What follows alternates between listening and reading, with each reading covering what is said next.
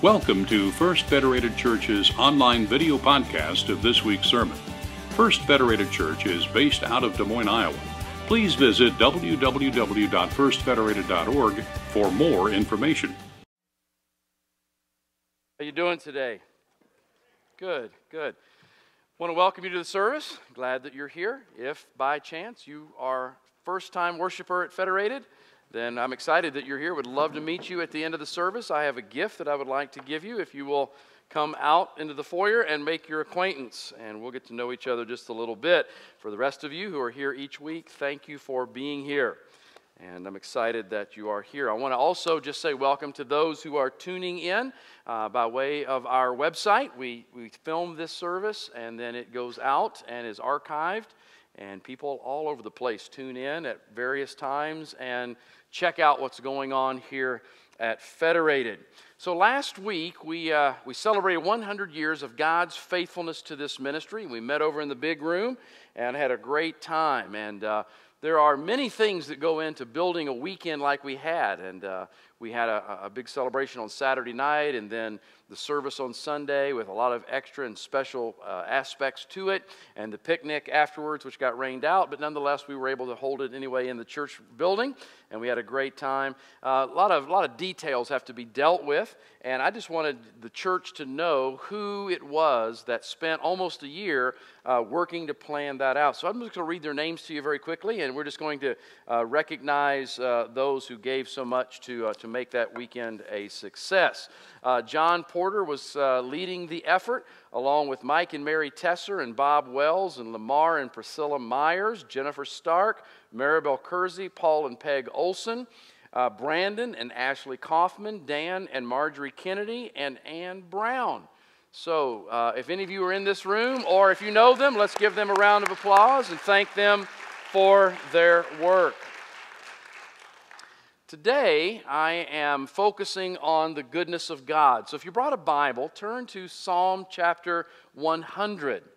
Another way of saying that would be to say, turn to song number 100, because the Psalms were Israel's hymn book. And so, this is Psalm number 100. Let's read through, and then we'll see what it has to say to us today. Psalm 100 says, Shout with joy to Jehovah Yahweh. You probably don't see Jehovah Yahweh in your scripture.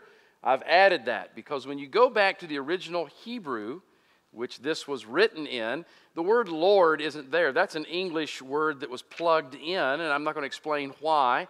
But you'll actually find uh, the word Jehovah, Yahweh, one of those two, depending on how you pronounce it. I just put the two together. It's the personal name of God. So the word Lord, which means master, is not really there, but actually the personal name of God. So it reads Shout with joy to Jehovah Yahweh, all the earth. Worship Jehovah Yahweh with gladness. Come before him singing with joy. Acknowledge that Jehovah Yahweh is God. He made or created us, and we are His. We are his people, the sheep of his pasture. Enter into his gates with thanksgiving, go into his courts with praise. Give thanks to him and praise his name, for Jehovah Yahweh is good. His unfailing love continues forever, and his faithfulness continues to each generation. Oh Lord God, this morning we, we do come into your presence, hopefully with praise and with thanksgiving recognizing that you are God and we are the creation of your hand.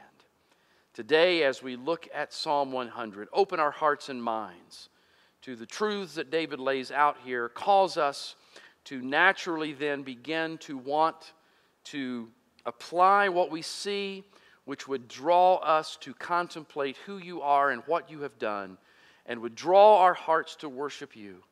And hopefully, as we see your greatness and we worship you, we'll be drawn to share that with others. So may this time that we spend this morning in your word and contemplating your goodness, may it bring encouragement to our hearts. May it draw those who are far from you uh, into your presence and into your saving grace, is my prayer. In Jesus' name, amen. Now, this psalm is a psalm that uh, David wrote. David was the second king of Israel. David was a man of many talents. He was a warrior, he was uh, a writer of poems. I mean, he did so many different things. He was obviously a politician, he was a king, a ruler, but among his many talents, he was a songwriter, and he wrote about many different things. When you read through the Psalms, you'll find him at times writing because he's sad. And when he's sad, he is pouring out his heart to God. He is sharing his burdens with, with, with God. And sometimes he writes because he's mad. Somebody has done something to offend him or hurt him in a very deep and profound way. And we find then David uh, writing a song as a prayer, asking God to judge his enemies.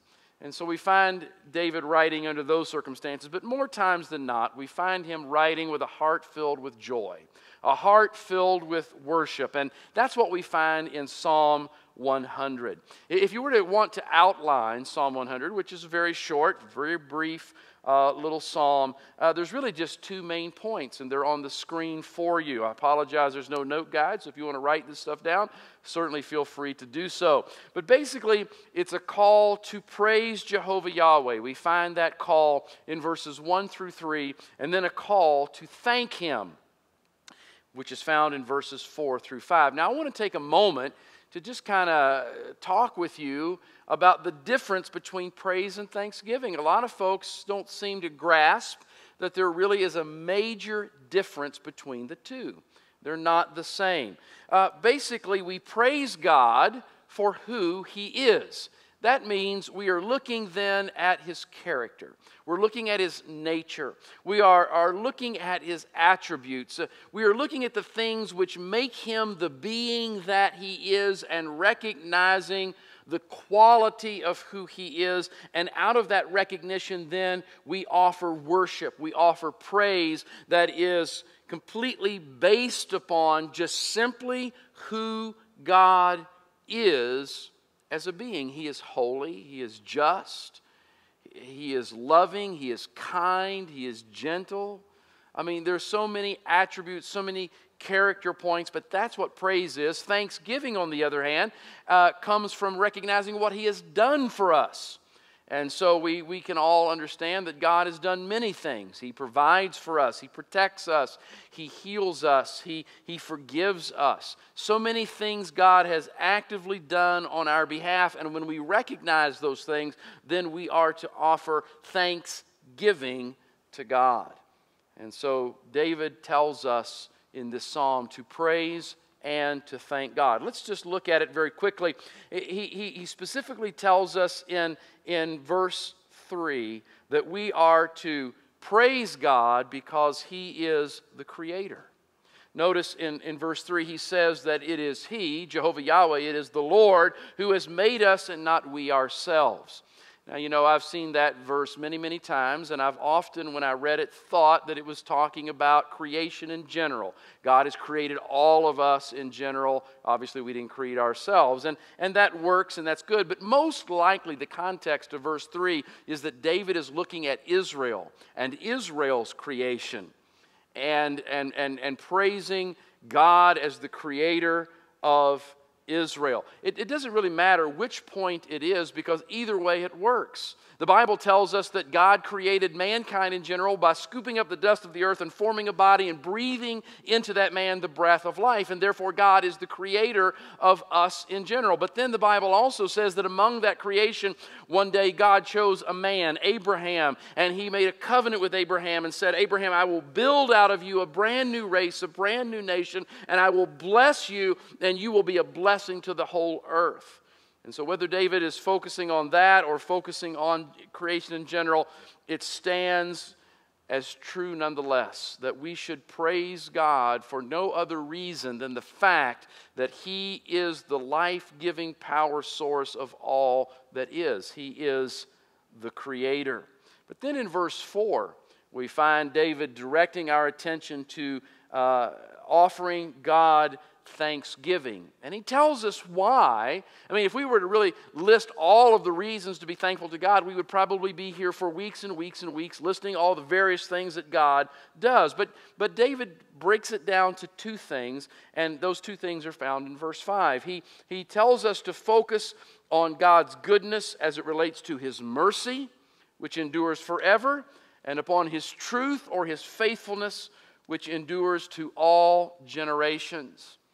Now, let's talk for just a moment about God's mercy. Do you know what mercy is? Mercy is a specific thing. Mercy is this it is the withholding of judgment from one who deserves to be judged. That's mercy. And you know all of us have sinned against God. Romans 3:23 says that we have all fallen short of his glory. And you know on a daily basis, I'm sure there are things that we do that offend a holy God, and yet He is merciful to us. The scripture tells us not only is He merciful to us who follow Jesus, but He's even merciful to those who are rejecting Jesus. Now, He won't be merciful to them forever. But in this age in which they're living right now, he is being merciful to them. Jesus said in one of the Gospels that God gives, causes the sun to rise and the rain to fall on the just and the unjust so that their crops grow, so their families are blessed, so that they can thrive. This then is an example of what is known as God's common grace. And it is an example of His mercy. We deserve His judgment, and yet God withholds that judgment. And those who follow Jesus, He withholds it forever, giving us mercy after mercy for all time. And so we should praise Him for that. We should thank Him for that. The second thing that he mentions is God's truth or faithfulness, depending on the version of the Bible you have. One version may say we are to thank him for his truth, the other says for his faithfulness. And someone may say, well, that seems like a contradiction. Those aren't the same thing. And yet they really are, because when, when David talks about God's truth here or his faithfulness, he's talking about God's truthfulness in the fact that when God makes a promise, he always fulfills it. And when you're looking at truth from that perspective, then you're talking about someone's faithfulness. And here's something that we can take to the bank, church, is that not one of God's promises ever falls by the wayside. Never. He may not fulfill his promise in a moment that we would like to see it fulfilled. It may be fulfilled many years, generations, or perhaps, as in the coming of the Lord Jesus Christ in the flesh, centuries or millennia. But he will fulfill his promises. He is faithful. He is faithful. And so David saw God's mercy. And, God, and David saw God's faithfulness as things that God had poured out in his life. And so he writes this song and he encourages those who read it or who hear it to also uh, worship the Lord, to praise him for who he is, and to recognize the many benefits that he has given us and so then to thank Him. Now I'd have to believe that in a room that has got many folks who know Jesus as Savior and Lord, that we would have many points of understanding about who God is, that we could worship Him and praise Him, and many understandings of what He is doing in and through us that would cause us to give Him thanks. And I just want to encourage you to be people who daily, when you commune with God, to take the time, not just to ask Him for stuff,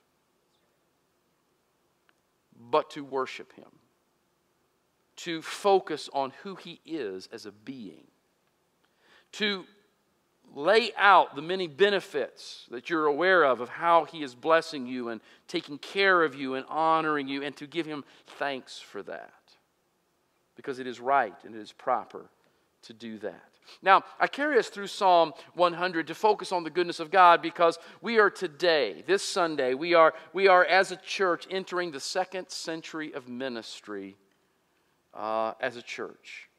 And we are the generation that gets to cross over from one era of time to a new era of time. I know I say that word a little bit strange. I had someone try to coach me on how to say it better, but I'm just going to stick with my West Virginia way of saying it and just say era, okay? And you know I'm talking about a period of time. As I said last week at our 100th anniversary celebration, the first 100 years of God's working with First Federated Church, that has gone under the bridge. That era is gone. It's never coming back. We can occasionally look at it, thank God for some good things He did, and there's some probably other things that we did we'd just like to say, well, I'll just forget about that. We won't think about those things, all right? But that time is gone. We are faced with a brand new era, and we are faced with a brand new mission and a brand new vision. And just as God was good to us then, He will continue to be good to us today. And that is what I really want to point out to us today. But there's something else that I want to make sure that we as a church grasp and that you hear from my mouth before we get too far into the new era, okay? And that is this that there is something from the old era. There are two things specifically from the old era that we are going to continue to maintain as part of the new era. We are not going to abandon these two things because they are things that are crucial to us being an effective church. What two things am I talking about? Well, I'm talking about these two things. The fact that Federated was founded upon the Word of God and it was founded with a centeredness on the Lord Jesus Christ. And those are two things that everybody in this community knows about Federated. If they know anything about us, they know that we are a biblically based ministry, we are a Christ centered ministry. We have been that for 100 years, and we're going to continue being that for however long God allows us to live, or at least as long as He allows me to be the pastor here. I'm going to fight for those things things because those are things that are crucial to our future success.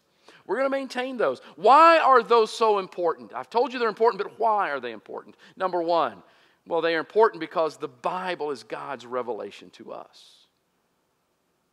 The Bible is God's revelation to us. 2 Timothy chapter 3, verses 16 and 17, if you'll put the scripture on the screen, tells us that God's word is here to teach us what is true. It is here to make us realize what is wrong in our lives. It is here to correct us when we're wrong and to teach us to do right. And the word of God is God's mechanism to prepare and to equip his people to do every good work. We cannot afford to go into this new era thinking that we can somehow improve on what God has given us. We cannot and therefore it must remain our foundation. But we also need to ensure that we're keeping our focus centered on the Lord Jesus Christ. Why? Because the scripture teaches us He is the head of the church. It is by His blood that we have become a church. And that's what Colossians chapter 1 verses 18 through 20 says. It says that Christ is also the head of the church, which is his body. He is the beginning, supreme over all who rise from the dead. He was the first one. So, he is the first in everything, for God, in all of his fullness, was pleased to live in Christ. And through him, God reconciled everything to himself. He made peace with everything in heaven and on earth by means of Christ's blood on the cross.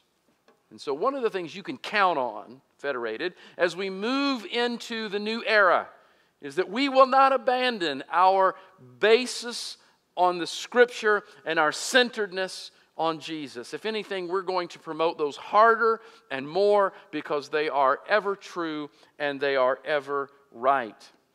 But as we move into this new era, there is a third foundational reality that we must work together to ensure that this third aspect becomes as much a part of our DNA as Bible based and Christ centered are.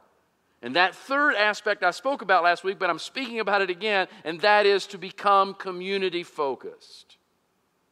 Now, let me say that in our history, we've had times of being community focused.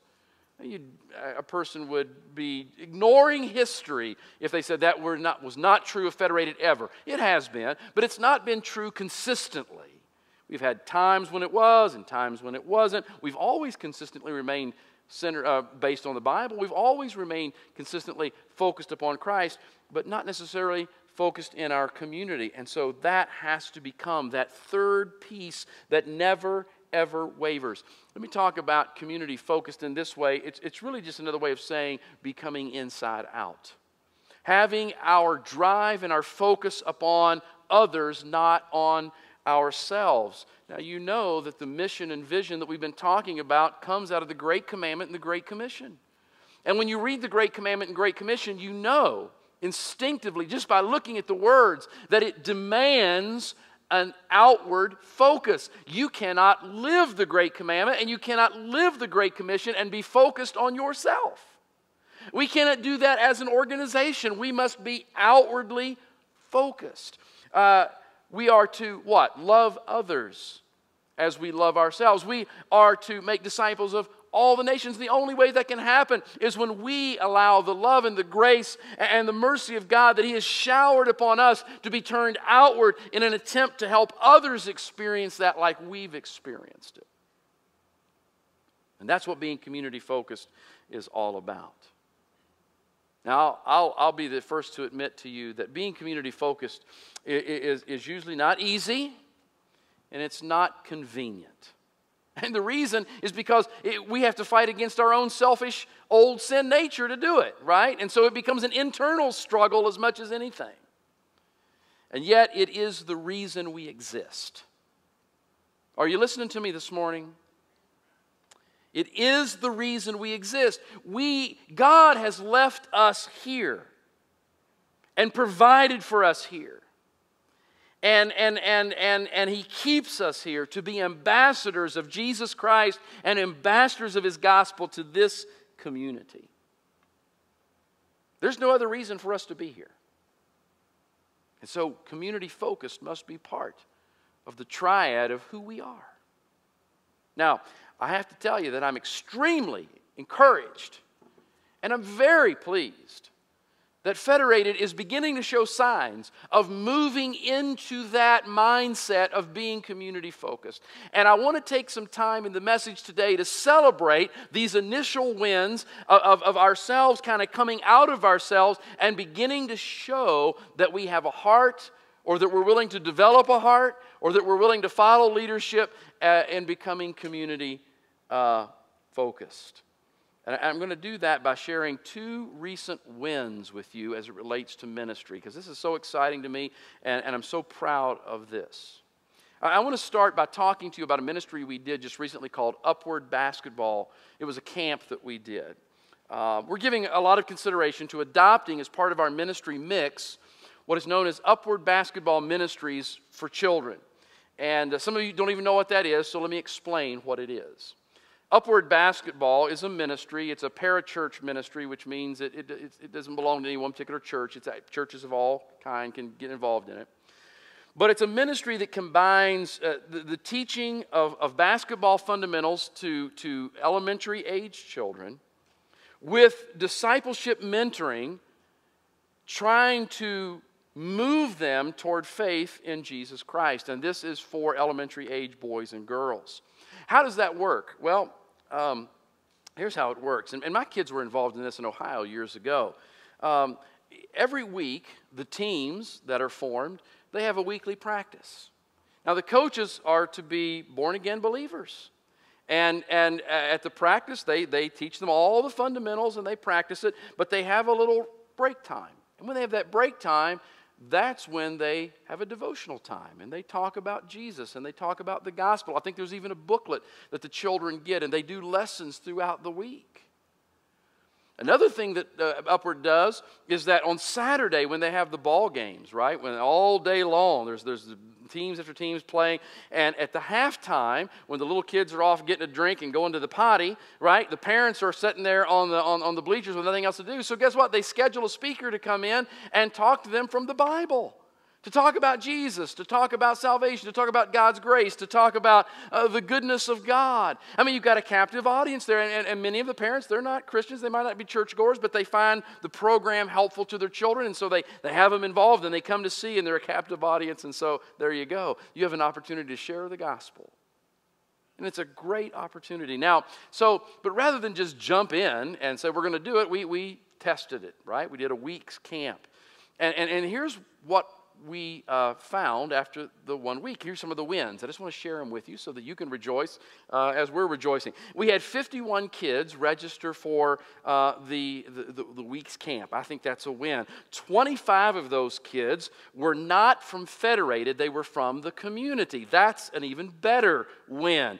13 of the 25 have no church home whatsoever. They're coming from unchurched families, and all 13 of those families come from the 10 11 window. That's a triple win as far as I'm concerned because that's exactly who we're wanting to go after.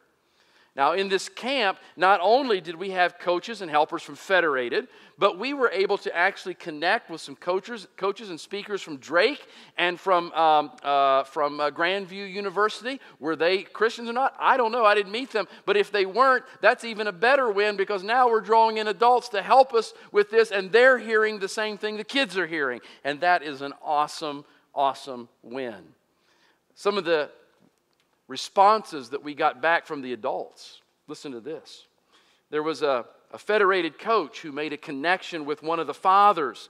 And this father is coming, uh, is, is, is, a Catholic. He's coming from a Catholic background, and he's noticing some very distinctive differences about uh, the teaching. And, and so he is curious, and he began to connect and, and want to know more about that. That's a win, that's an open door right? Tracy Grease over here, who we're going to recognize in just a few minutes, she made a connection with a mom who had questions about organized religion.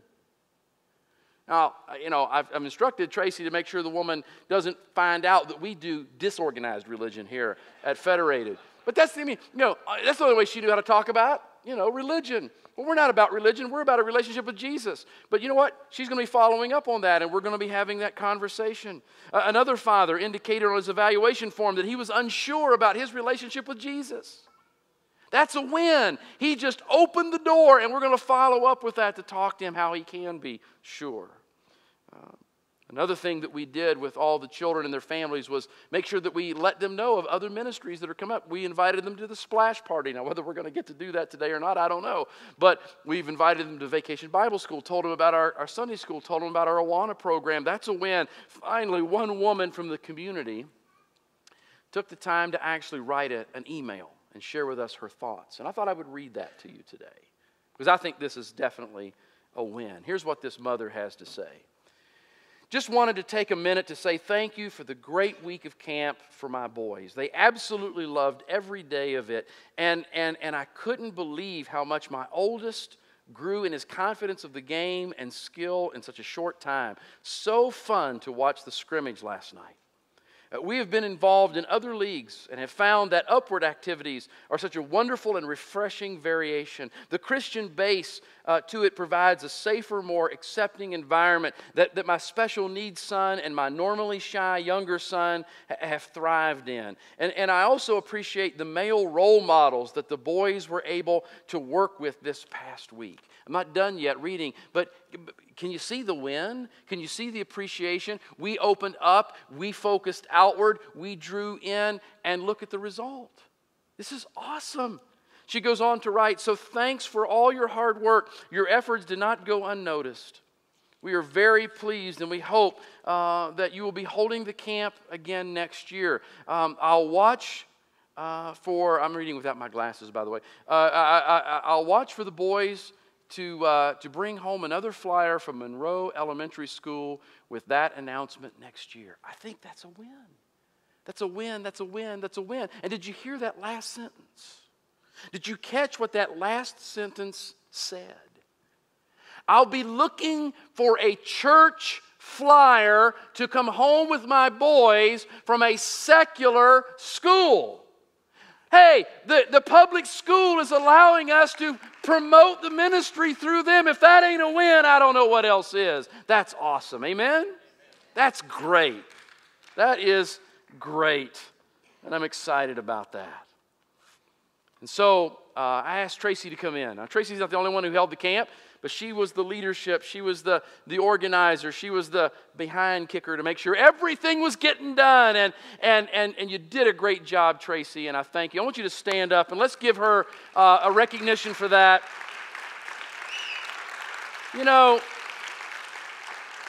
So many other volunteers were just as pleased and just as happy with them, but that group, they loved God by loving others and they took steps to disciple young lives toward the faith. That's where we're going. That's what we have to be at all times. That's ministry.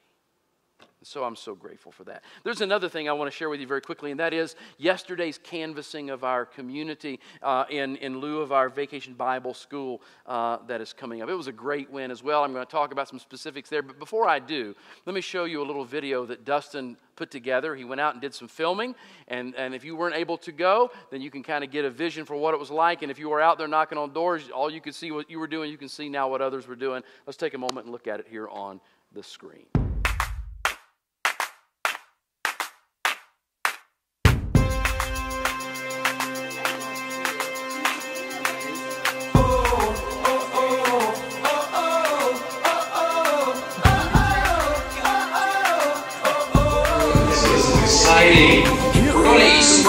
Here in just a second.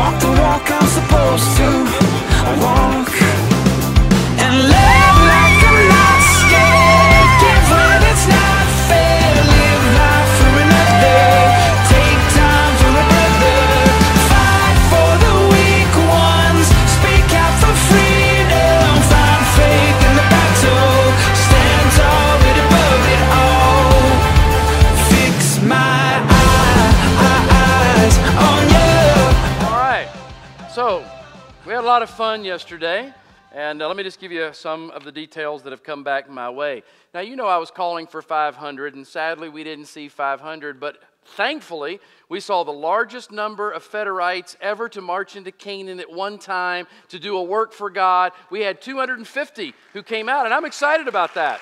I think that's a great win. That's a great win. 250 going out in one mass effort together.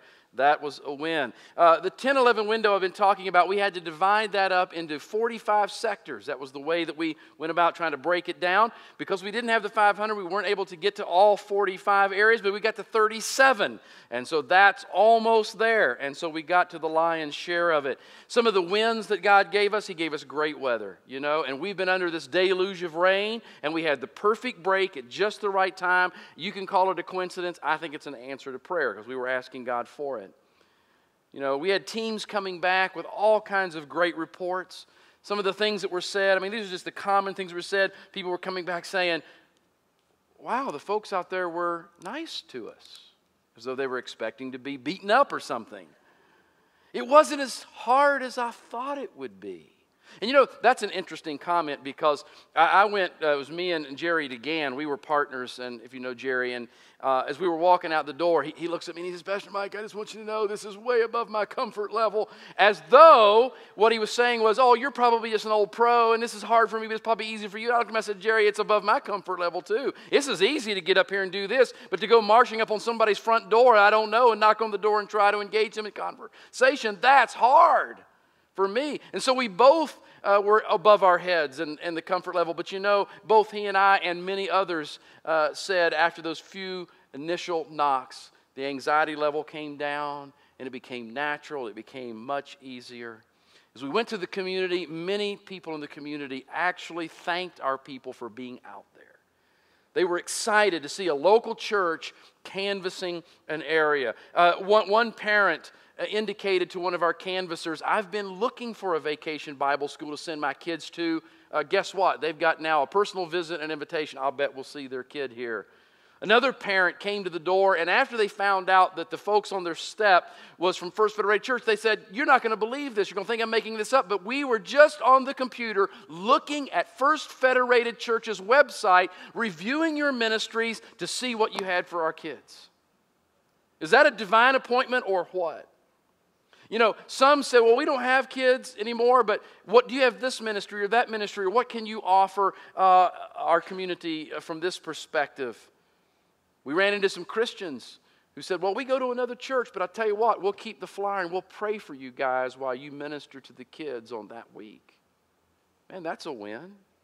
And this one was really cool. I was sitting after it was all over with, I was back home eating lunch, and I got a text. And it said, We just got our first online registration from the 50310 zip code from Adams Street. So someone had been visited they had looked it over and they had already registered their kids that afternoon. Hey, that's, that's a win. That's something to celebrate. And you know, again, so many volunteers, so many folks who did various things to make yesterday's canvassing a success. And I'm grateful and I'm proud of and I'm thankful for every one of you. But I do want to recognize two in particular, and that is Scott Hamilton and Bill Lowen. Scott Hamilton's one of our elders. Bill's just a member here. He plays in the band sometimes, plays piano. But both of them took weeks, had various meetings. They're the ones who broke everything down in military precision, created all the maps so we would know exactly where to go, covered all the details. And, and you know, and Scott labored under the weight of his father passing away and I would have been fully, I would have understood if he'd have said, I, I can't continue on, but he kept right on serving regardless because he knew how important this was. And I am so thankful to them and to you, and I'm proud of each and every one of you that went. So thank you so much for making yesterday a success. And that's just another win. And so here we are, barely one week into the new era, one week into the new century, and we're already seeing God at work and we're seeing him be faithful. But I want to change I want to change the view here for a second from the church to you personally. And, and I want to ask you Has God been good to you? He's been good to Federated. He's been more than generous with us as an organization, as his body, as his church. But what about you personally? Are you aware of his goodness? You know, I'm sure that you are. But if you're like me, oftentimes we get so busy with life that we tend to forget. And we tend to let those opportunities to worship Him and to thank Him go by. So here's what I want you to do I'm going to ask you. I'm going to ask you to take some time this week and to reflect on who God is. Not what He's done. I'm, do not, I'm not asking you who He is. He is your Creator, He is your Redeemer. He is holy, He is just. You know, those kinds of character traits. And allow the wonder of who He is to fill your heart and, and, and just worship Him, thank Him for being who He is. But then take the time to also think about what He's done. How has He blessed you? Has He provided for you? Has He forgiven you? Has He healed you? Has He, you name it and then offer him thanksgiving and praise for the work that he is doing in and on your behalf. And I have to believe that as we focus on the Lord and we see him for who he is, and we look at all that he is doing in our lives and we thank him for what he's done, that could only drive us then to want to share that good news with other people. It could only turn us into impassioned ambassadors of the gospel in Jesus Christ because we would want others to experience that same blessing and goodness that we've experienced. And that's what I'm hoping that we become a church filled with ambassadors of the gospel. Today, you also may have come here today with a burden. There's something that's pressing on your life something that you don't let others know of in particular, but it's really been weighing on you, some issue. and you would like for someone to pray with you, I want you to know that each week now, when we come to the close of the service, we're going to have folks available to minister to you and, and who, who, care and want to hear and are willing to pray for you. And today, the two people that we have are Greg Stearns, and normally, or today it was supposed to be Sean. Uh, but uh, actually, he had to trade off with Eric Trudeau. And so, uh, so Greg and Eric will be here at the front in just a minute. And, and, and they would love to, to, to meet you and hear and, and share with you and pray with you. And if you'd like to know what it means to follow Jesus, I would encourage you to take one of the booklets that we have in the pouch in the seat directly in front of you. It looks just like the one on the screen, and it'll talk about how you can have a relationship with Jesus Christ as well. I would encourage you to read it, and then let's connect about what it has to say. Father, I just thank you. I praise you. I worship you. And I thank you for your goodness to us. You are my creator. You are my sustainer. You are my God, my Lord, my Father.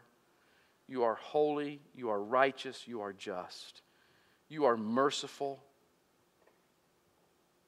You are loving. You are kind and you are gentle. I worship you, Lord, for who you are. And I thank you for the multiplicity of things that would take hours for me to express. For 54 years, of giving me life and giving me breath, giving me a home and a family and friends and health, and providing for my, for my needs. Oh God, you are so good, and you've been so good to Federated. Thank you for that. May we not become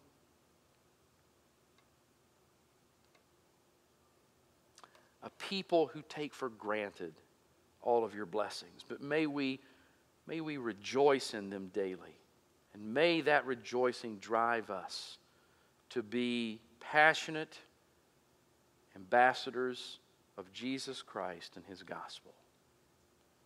Lord, may we see more wins like this of our church focusing on the community and seeing folks come to faith, seeing lives transformed and changed in the days to come. May you be lifted up. And may others be benefited by your mercies and your grace. This is my prayer in Jesus' name. Amen. Pastor Danny.